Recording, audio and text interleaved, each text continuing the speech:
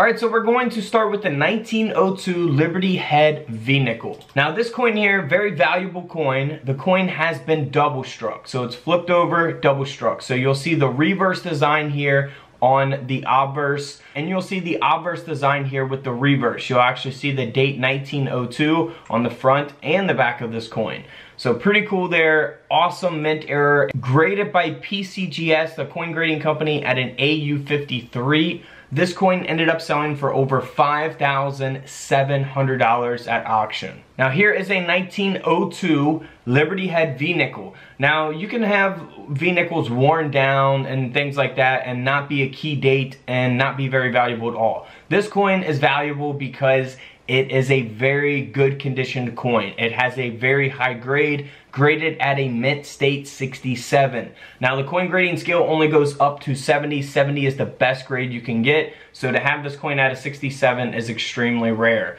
This coin ended up selling for over $7,600 at auction. Now, if we compare that to another 1902, this coin only sold for around $40. And that's because it's graded at an AU55.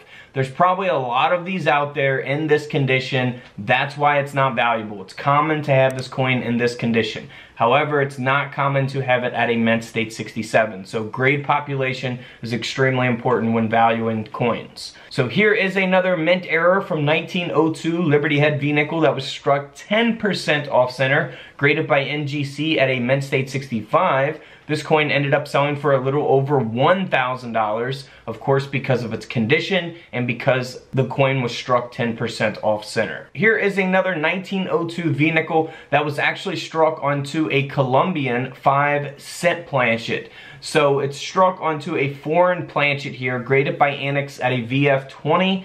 This coin ended up selling for nearly $450 at auction, even in that condition because of its mint error. Now here is a 1902 Liberty Head V-Nickel, but this is the proof coin, so this is a very valuable coin here. Uh, so the proof coins will be very shiny, have a mirror-like finish, be much more detailed. This coin graded at a proof 68 ended up selling for over $6,400.